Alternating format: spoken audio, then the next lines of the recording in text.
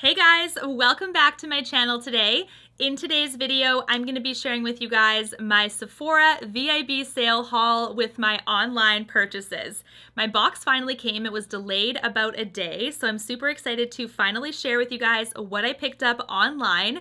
This video is also super exciting because I'm also collabing with my friend Leah Janae. Leah also did a haul on her channel, so don't forget to check it out. But she does a lot of great videos over on her channel. She is the queen of TJ Maxx. I feel like she finds everything at that store for reduced prices. It's crazy. She also does some great reviews over on her channel as well, and she's just a sweet, down-to-earth, really nice person. So don't forget to check out her video and her channel after this one and go give her some love and subscribe. I know you will love her content. And without further ado, let's get on to my VIB sale online purchases haul.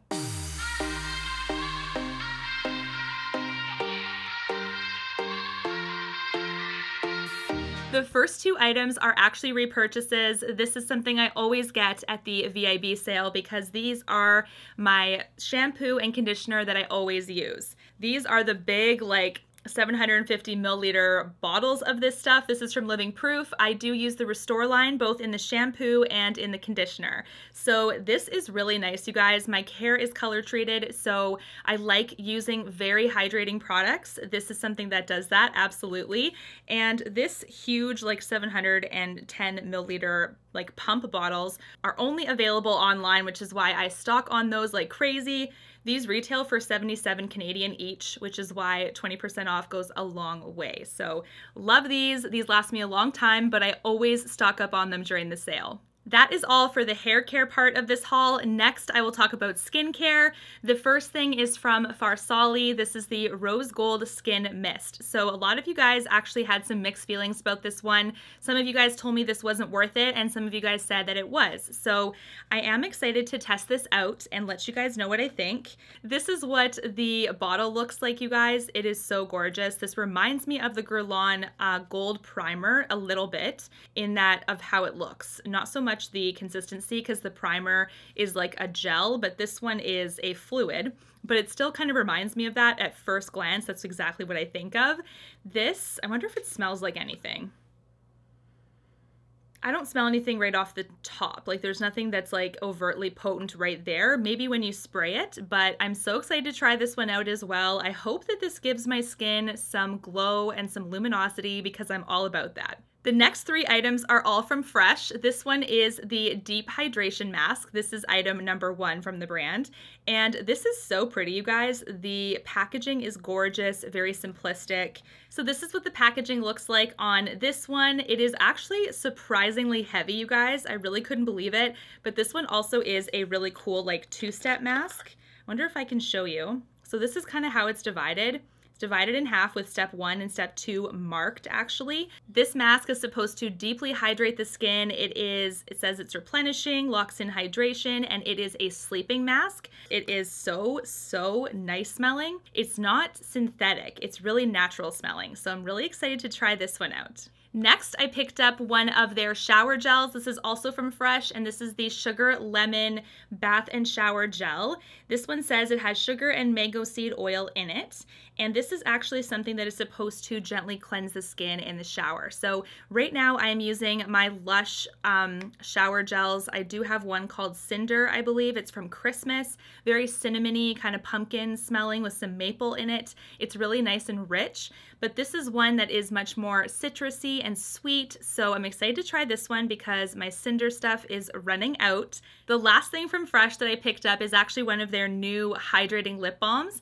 This one is the Fresh Sugar Hydrating Peach Lip Balm. This is what it looks like here. So it's a gorgeous little lip balm.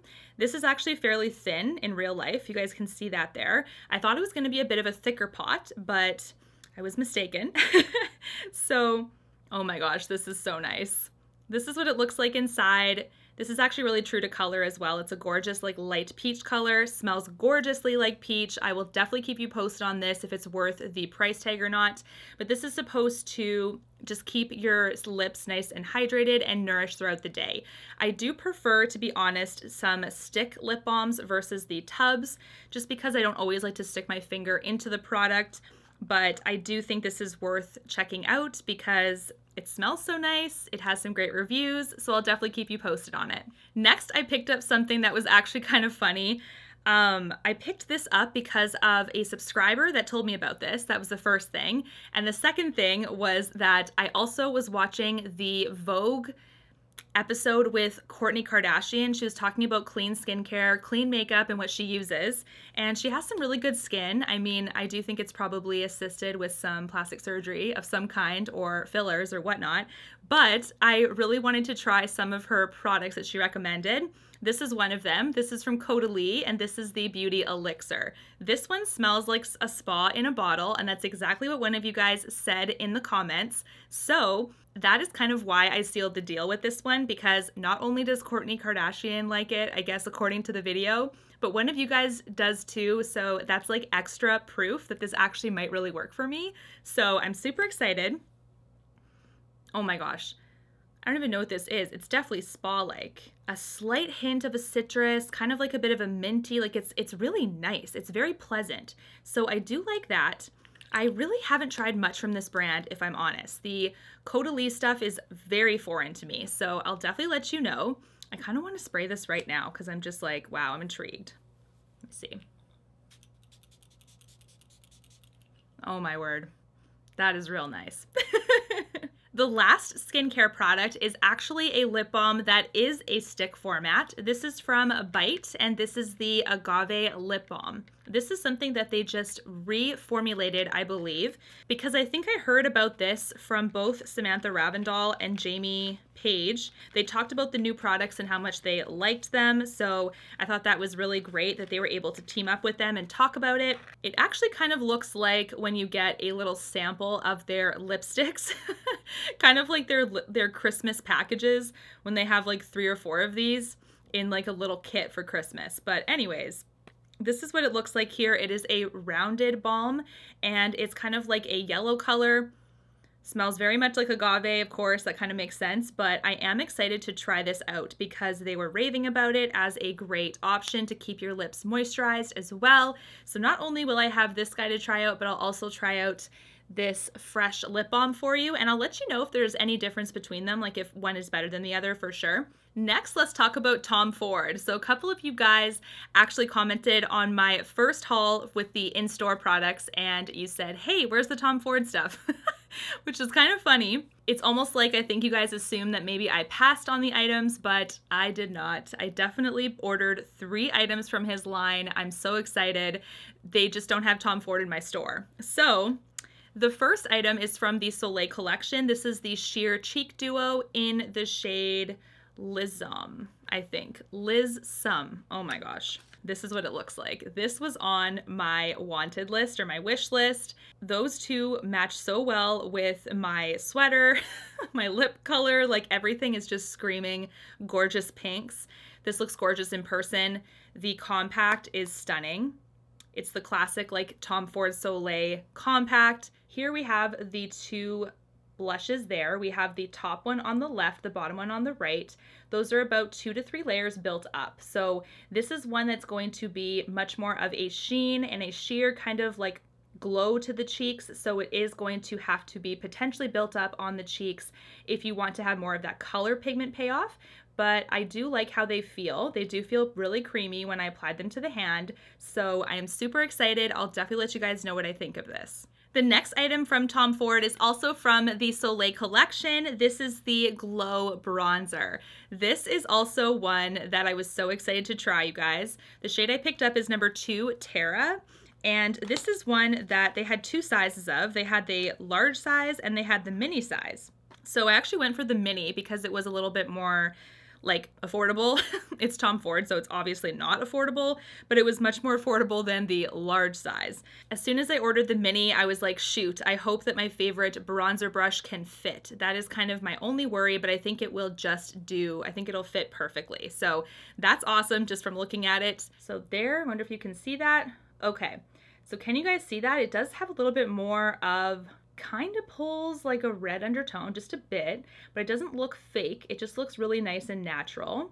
So that is about two to three layers as well. So these products I'm going to assume are going to be very like sheer, glowy, built up a little bit. I think that's kind of the whole point of this line. I'm actually really excited to give these guys a go and I'll definitely keep you posted on my thoughts. Now let's talk about the quad that I had my eye on since I made, well, this has been months and months ago now, but I included it in my wish list as well. And this is the Tom Ford Eye Color Quad in the shade Honeymoon. This little baby has been on my wish list for at least a year. I don't know why I've kind of held off. I think it's because it is so pricey, but finally I was able to pick it up and it's got the classic quad packaging. This is what, okay, I'm gonna dump the brushes out because I hate the little brushes that they come with.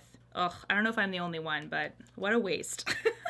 I don't use them and I'd rather have the quads, like the actual pans, be a little bit bigger. But this is Honeymoon, stunning. Love this, this is exactly what I thought it was. I was actually really worried because on Sephora, sometimes their images don't match or like the shades don't really match what they actually are in real life, but this one is pretty close. All right, so here they are, you guys. This looks so pretty. These definitely have that same kind of like nude dip quality where they've got like that glowiness to them. They're so creamy. They seem to blend out on my hand with the swatches really well.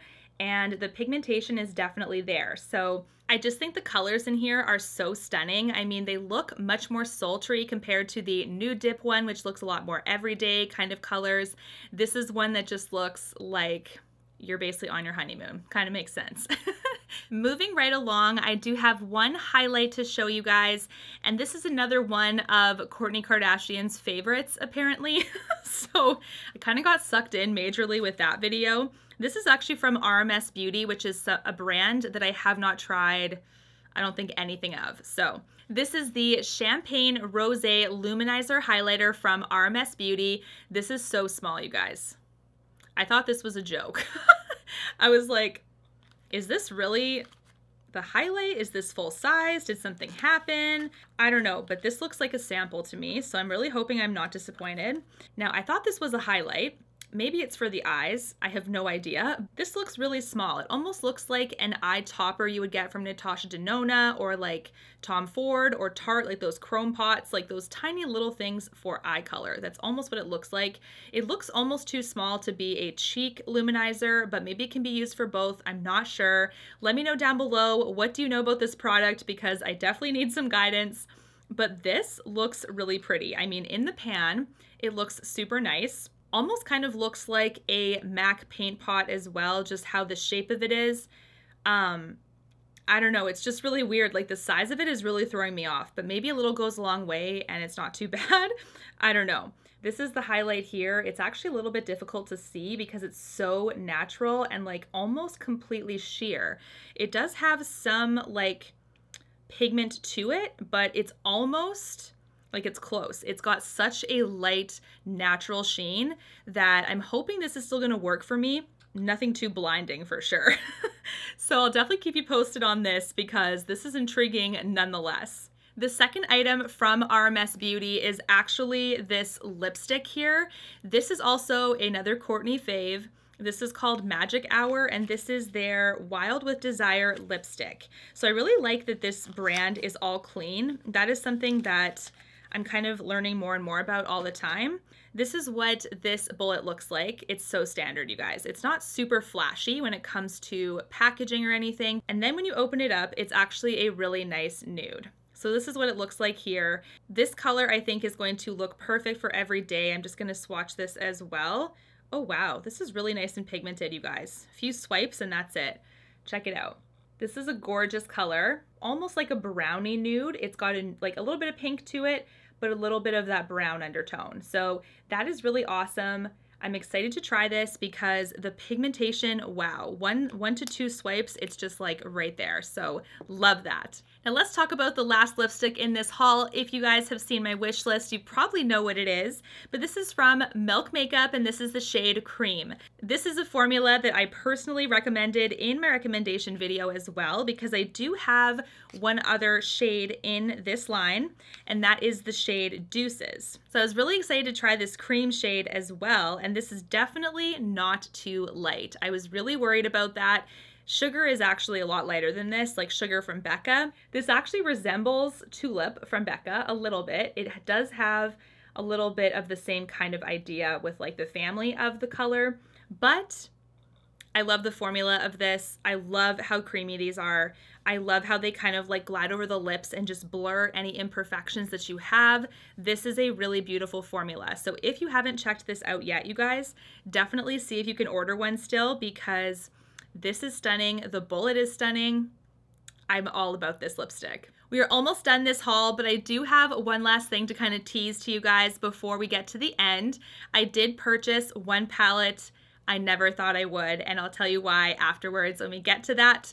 But we do have a couple things just to kind of whiz by in this haul here. The first one is from Beauty Blender. This is the Pretty in Pink Trio. This is also one of the things that was on my wish list because I am so low on beauty blenders. I need to replenish them, so that works out perfect. This is a cute little set with three pink beauty blenders.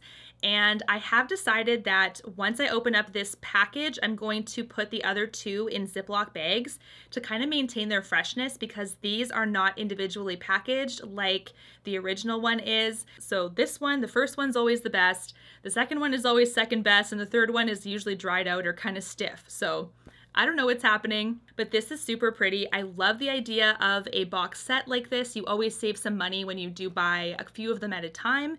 So this is a much needed repurchase. Next, I wanted to try out these new muslin cloths from Eve Lom. So this is a package of muslin cloths. There are three in here, I believe, and this is one that I did get recommended to me actually from an esthetician. She talked about how muslin cloths are really nice to remove like your skincare and things like that compared to a washcloth if you have more sensitive skin. So I did decide to try these out. They're a little bit pricier than your standard washcloth, but I have been finding that after I remove my skincare, like my cleanser and things like that, that my skin gets a little bit red. And I don't know if it's just because I'm exfoliating with that cloth kind of like gently exfoliating, but the like washcloth might be a little bit rough. I'm not sure. I don't seem to go to town. I don't scrub my face or anything. But I figured this was worth a try because apparently these are supposed to be a lot more gentle. So I did get one of these as well. I also stocked up on my Shiseido cotton pads. I always get one of these as well, just like the shampoo and conditioner. I love these um, cotton pads here. I always get one because it's just nice to save some money on them and these are the best ever. They don't fray or they don't shed. They remove eye makeup beautifully and face makeup. I actually use these with my Bioderma micellar water when I remove my makeup at night and they're soft. They're like pillows. I love these. Now let's get on to the last product in this haul. This is one that I told you guys I was going to never purchase. never, never purchase because I didn't think I would use it.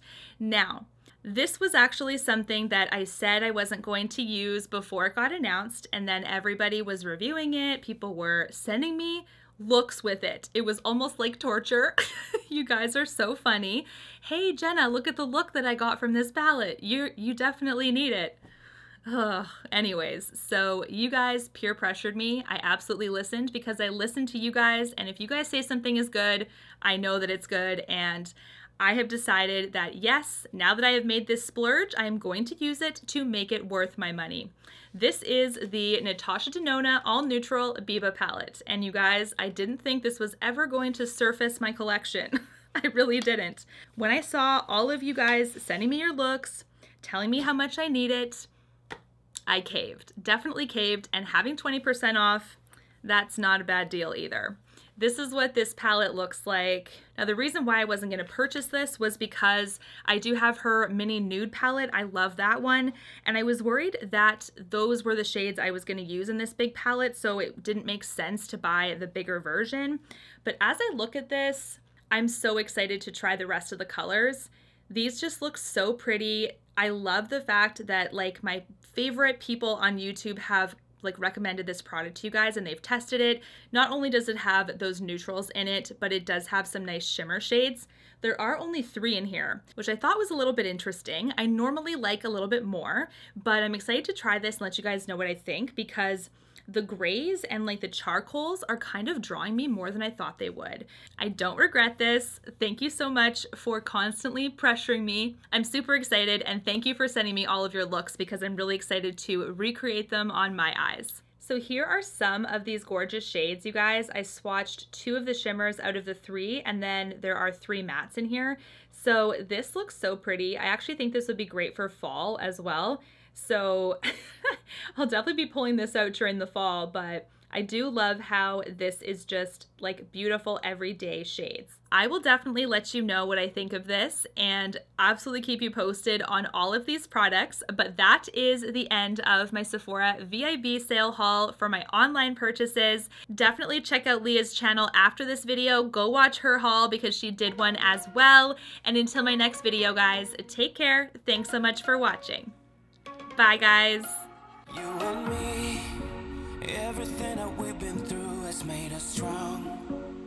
You won't believe we've had our gray, but somewhere there's a light inside of us.